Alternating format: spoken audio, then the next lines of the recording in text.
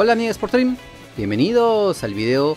Se filtran más convocados a la selección peruana de Jorge Fossati. Vamos. Y las novedades con respecto a la selección peruana no tienen cuándo acabar.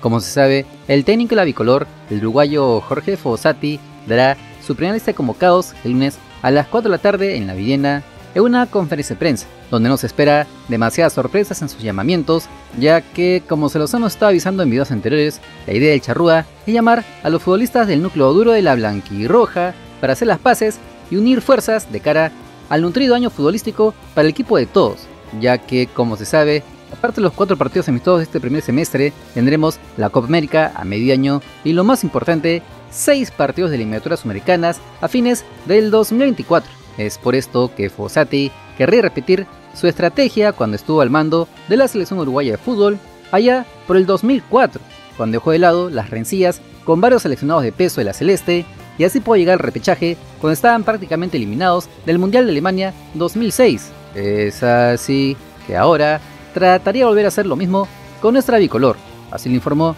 América Televisión. Tres referentes de las últimas selecciones, tres identificados con la blanquirroja y tres que al parecer Jorge Fossati quiere mantener en el radar. Paolo Guerrero, Cristian Cueva y Carlos Zambrano contaron que mantienen una fluida comunicación con el seleccionador nacional. Cristian Cueva confesó que el mismo Jorge Fossati le hizo saber que espera su recuperación. Él me lo dijo que ellos están para ayudarnos a todos, ¿no? Y yo le agradezco bastante por eso y, me están ayudando. La verdad que me están ayudando bastante eh, en, poderme, aún estando en esta situación, creo que considerándome, creo que eso es algo que no lo voy a olvidar. Paolo Guerrero contó que la comunicación con don Jorge hoy es más que fluida, como si se conocieran hace muchos años. Converso mucho con el profe. ¿Se whatsappean todos los días, es verdad? Casi sí, casi todos los días. ¿Sí? Casi todos los días, sí, sí, hablo mucho con el profe. Para que una excelente persona, la confianza que él deposita en mí es, grande, así que, que nada, espero conocerlo, no lo conozco el profe personalmente, pero sea nuestras conversaciones parece que nos conociéramos de años. Y con Zambrano, Fossati estaría esperando volver a ver su mejor versión ahora que está de regreso en Alianza Lima. Tras lo visto, se puede entender entonces que Fossati buscará llamar a todos los históricos de la blanquirroja, armando la base, sobre la cual insertar a varias jóvenes promesas de nuestro balompié, como pueden ser Piero Quispe, Grimaldo, Eric Noriega o incluso Oliver Son, que tanto piden los fanáticos más jóvenes de la selección en redes sociales. Sin embargo, la otra base en la que le gustaría trabajar es en la del actual campeón peruano, Universitario de Deportes, Así indicó el periodista deportivo Gustavo Peralta en el 1 Radio. Sati va a dar la lista y lo que me comentaban en la previa de esa lista es que el compañero técnico de la selección ha pedido las métricas de GPS de 11 jugadores universitarios. No quiere decir que los 11 van a ser convocados, pero sí que la U va a tener el mayor número de, convocados del torneo local. Este, y bueno, los, los, cremas van a entrenar desde miércoles 13. Los jugadores son Romero, Corso, Murrugarra, Cancha, eh, Concha, Polo, Orejas, Calcaterra, Valera, Rivera, Sarabia. Luego del escuchado, se pudo conocer que del equipo crema serían llamados varios ex dirigidos por el técnico uruguayo como fueron Diego Romero, Aldo Corso, Marcos Arabia, Nelson Cabanillas, Andy Polo, Jorge Murrugarra, Alex Valera, José Rivera y Edinson Flores. Al menos de estos, cinco serían llamados sí o sí este lunes en conferencia de prensa. Además, estarían a la expectativa Jairo Concha y Christopher González, que ya estuvieron antes en la selección peruana, pero que no han tenido el mejor de los arranques en la actual Liga 1 con la U. De todas maneras, el entrenador oriental la tiene clara y quiere iniciar con un equipo no desde cero, sino teniendo la base del campeón peruano y sobre los hombros de los referentes en la selección como son Pedro Galese, Carlos Zambrano, Renato Tapia, Yoshima Retún, André Carrillo, Gianluca Lapadula y Paolo Guerrero. Por lo que todo indica que jugadores que militen en Europa como Marcos López o Oliver no tendrían espacio, al menos en esta fecha FIFA de marzo, según las propias palabras del técnico uruguay. No soy de los que traigo o de los que sumo jugadores por sumar, ver bien si, y especialmente este, cuando se trata de futbolistas que están en el exterior, traerlos si no tienen buenas posibilidades de que jueguen, me parece, digo, o como mínimo de ser la opción 2. Va a jugar este, pero si pasa algo con este, es este. Si no es así, este, por el momento, insisto, yo no estoy hablando de zona en particular, estoy hablando de general, ¿sí? Pero hasta ahora yo lo conozco porque me, em, como con él, con todos, trato de, de, estar al día desde que me nombraron técnico de la selección. Entonces lo hemos visto eh, en, Dinamarca, en su equipo, lo hemos visto. Ahora, eh, en la selección, yo no sé, lo que diga el hincha es un tema del hincha. Ahora, ¿por qué no sé? Pero nunca estuvo, tuvo creo que un partido en el banco, pero nunca estuvo dentro de la cancha. Entonces yo no puedo eh. analizar lo que no vi. Veremos si pueden tener chances de estar en las futuras convocatorias de la selección para la Copa América o las eliminatorias americanas. Por lo que por ahora, toque esperar. Bueno amigos, esa fue la información al respecto que les teníamos de los futuros convocados, o al menos los convocados ya de Fossati o algunos, que se rumorea que son básicamente una confirmación, pues, ¿no? porque ya se sabía hace bastante tiempo de que Fossati quería contar con referentes como Pablo Guerrero, Carlos Zambrano, incluso hasta Cristian Cueva. En ese momento eh, Fossati se contactó con Cueva cuando muy pocos teníamos a Cueva en la selección, pues, ¿no? porque no tenía equipo, está lesionado, supuestamente es operado o se va a operar. Y Fossati lo tenía en cuenta, ¿no? Entonces era un poco contradictorio este mensaje porque él había dicho de que llamaría a los que estén en una buena condición, estén jugando al fútbol, no tengan equipo, y en ese tiempo ni Zambrano ni Cueva tenían equipo, o al menos estaban entrenando, pues, ¿no? Eh, pero sí, entonces sí da el mensaje, o sea, eh, da la impresión que, el mensaje Facetti era ese, prácticamente eh, juntar a los referentes de la selección, eh, hacer las paces porque hay que decir que lamentablemente con Reynoso esta interna de la selección se quebró. Habían, según se dice, habían dos grupos en la selección, los referentes, por lo menos de los que eh, por ahí no eran tan disciplinados, digamos, y los que sí lo eran. Eh, aparte también estaban los jóvenes que estaban integrándose recién. Entonces habían varias facciones, pero eran, dos grupos bien marcados. Entonces no había una buena interna, no, no estaban todos juntos, unidos por el bien común que era eh, clasificar al Mundial del 2026, pues, ¿no? Entonces Fossati quiere hacer las paces con todos y primero es con el núcleo duro, pues, ¿no? O sea, limpiar, eh, por ir un poco limar asperezas entre todos, entre este grupo duro, este grupo, este grupo ya de consagrados, y luego en los posteriores partidos o en la Copa América ya integrar poco a poco las jóvenes promesas, ¿no? Aunque se vocea que también esta convocatoria de marzo llamaría a algunos, pero del medio local, porque Fossati ha sido claro, salvo que él esté mintiendo, pues, ¿no? Pero fue claro, pues, ¿no? Si él no ve a un futbolista que está militando en Europa, ponte en, España, en Italia o cualquier liga europea, no lo ve teniendo minutos en estos dos partidos eliminatorios amistosos, entonces eh, no lo va a llamar. ¿no? Por eso se, vocea que por Marcos López no lo llamaría, o incluso de la MLS como Miguel Araujo o eh, Luis Abraham, pues, ¿no?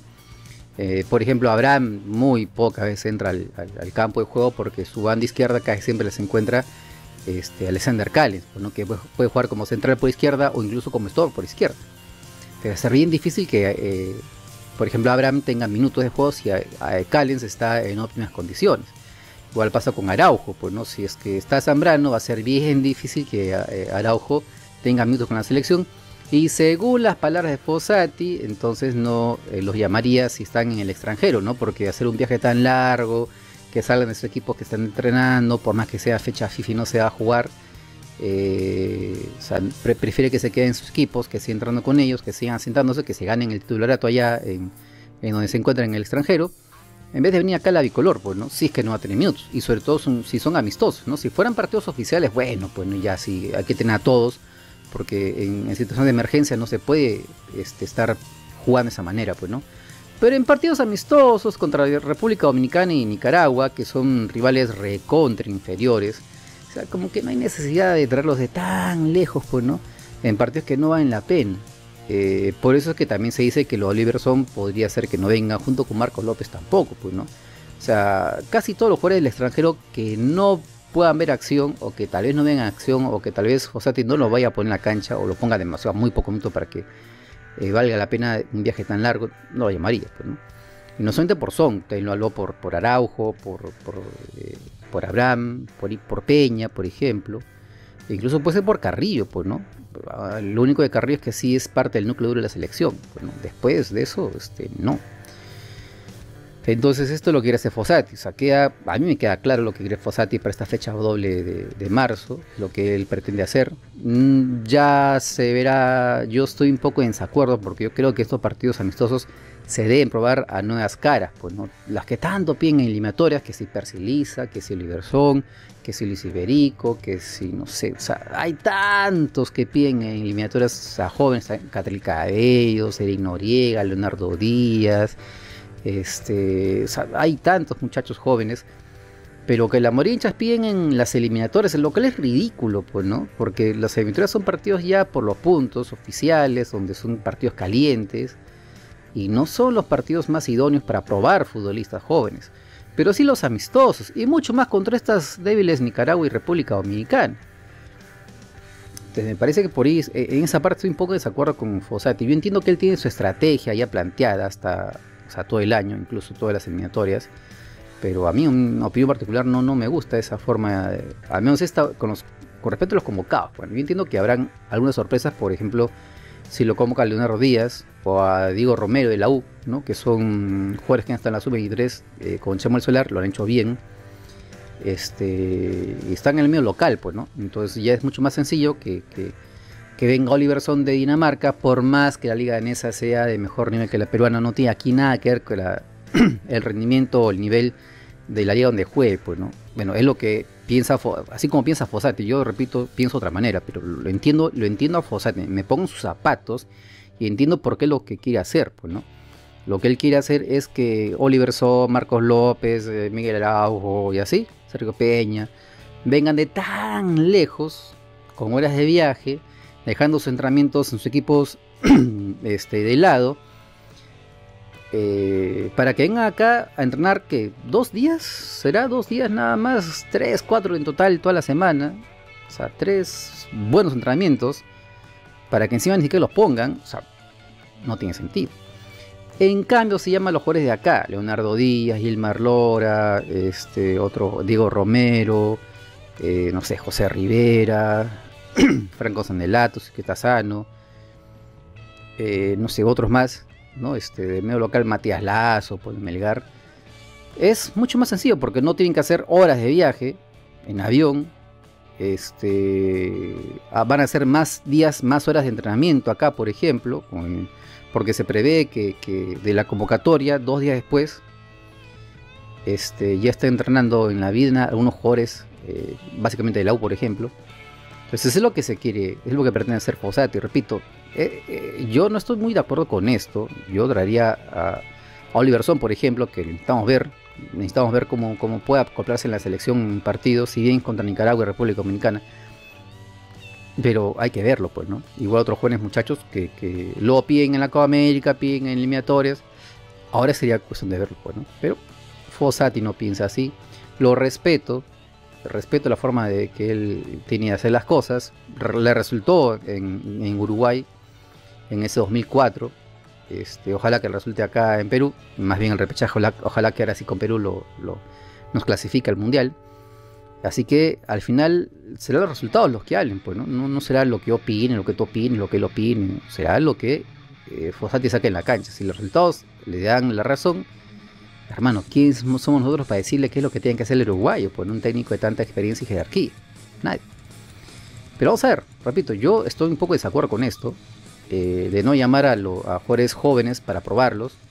Eh, José tiene otra, otra forma de pensar, ¿no? Tiene otro objetivo en esta, estos partidos de marzo. Quiere eh, limar asperezas con los del núcleo de la selección, juntar, que ya no hayan grietas, que no hayan separaciones, que no hayan dimes y diretes, y en base a eso luego ya empezar con, con el trabajo ya integrando a los jugadores eh, jóvenes, yo creo que en la Copa América, ¿no? Porque también se escuchen sus declaraciones que por la Copa América sería su banco, banco de pruebas, pues, ¿no? Donde sí llamaría a jugadores como López, ¿no? Peña, a los jóvenes talentos como Burlamaki, por ejemplo, en extranjero está en España, y sobre todo Oliver Son, que es lo que todo el mundo pide a la selección Oliver Son. ¿Y quién te dice es que De Santis también? Pues, ¿no? Porque ayer hablamos de Yerel De Santis en Alianza, que él ha dicho que quiere representar a Venezuela, no quiere nada, nada con Perú, pero igual decía la Padula, pues, ¿no? La Padula, sin ser explícita, eh, sin decirlo explícitamente, él quería a Italia sobre Perú. Cuando fue Gareca a buscarlo, él le dijo eh, que no, pues no, o sea, tácitamente dijo que no a Perú, sí a Italia, y al final del tiempo lo termina cambiando. Incluso la Padula cuando viene acá a Perú se enamora de, la, de nuestro, nuestra cultura y ahora es más peruano que la papa, pues, ¿no? Es parte de nuestra cultura futbolística peruana, eh, Gianluca Lapadula. Igual puede ser con De Santis, ¿no? Porque igual hay muchos ¿no? que hablan de que deja De Santis, que ya nos rechazó, que, que él quiere a Venezuela, que déjalo ir, hay mejores que él, claro, hay mejores que estamos llamando a, a Ruidías, por favor, pues, ¿no? Entonces igual puede ser con, con De Santis, bueno, tal vez viene acá al Perú, juega en alianza, la rompe, se enamora de nuestra cultura y al final decide jugar por nosotros porque Venezuela hasta ahora no lo toma en cuenta, salvo algunos partidos amistosos y, y de selecciones menores, por lo que a día de hoy, en teoría, todavía es seleccionado por Perú. Entonces, en el camino, en este año hasta medio año hasta la Copa América, podría cambiar de opinión según cómo le vaya en el Perú. Bueno, ojalá Ojalá le vaya bien en Alianza para que ganemos sobre todo un jugador de la selección, porque no va a ser de que le vaya mal a De Santis y los hinchas de Alianza lo empiezan a, maldecir, a insultar en redes y peor, bueno, peor se deprime este venezolano y no quiere hacer nada con Perú. Ojalá no sea el caso. Pero repito, ahí podemos tener una, una futura joven promesa para nuestra selección peruana. Pues, y otros más que solamente aparecerán y ojalá que aparezcan más temprano que nunca, ¿no? Porque lo que ayer se dio también con Cristal fue lamentable, la participación de Cristal en la sub-20 fue paupérrimo, fue, fue lastimero, da, de verdad da vergüenza ajena. Eh, pese a que es nuestra, nuestro equipo representando a Perú en, el extranjero, pues, ¿no? Eh, ya tengamos de esto, de las menores y todo lo que falta. Eh, no vamos a repetirlo, tenemos un montón de videos al respecto de, qué es lo que pasa o qué es lo que faltaría para que se reformen las menores en Perú. Pero es el punto que se debe tratar, pues, ¿no? Entonces, pensando a futuro, De Santis es una buena opción. Igual esperamos que, que convoque a otros jueces, jóvenes talentos aquí en la Liga 1, como Leonardo Díaz, ¿no? Este, y tantos otros que pueden también integrar ahora la selección peruana, o al menos probarse, pues, ¿no? Pero dime tú qué piensas al respecto. ¿Qué piensas eh, acerca de que Fossati quiere llamar a la base de la U campeón y sobre todo a los seleccionados de ya de jerarquía y experiencia como Guerrero, Zambrano, Tapia, Galese, pues, ¿no? Advíncula también. Ya sabes que los comentarios son todos tuyos, los leo a todos y les respondo a todos. Ya sabes que estás en el verdadero canal de todo el fútbol peruano. Si te gustó el video, dale like, comparte, suscríbete con la campanita. Nos vemos mañana más tarde así toda la semana. Chau.